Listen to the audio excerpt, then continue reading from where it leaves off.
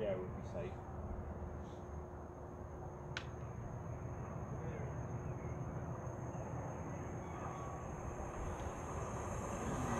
Oh, so you'll be getting one.